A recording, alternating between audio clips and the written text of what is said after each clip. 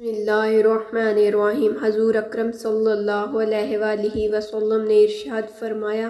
کہ اگر مجھے اپنی امت کی یا لوگوں کی تکلیف کا خیال نہ ہوتا تو میں ہر نماز کے لیے ان کو مسواک کا حکم دیتا۔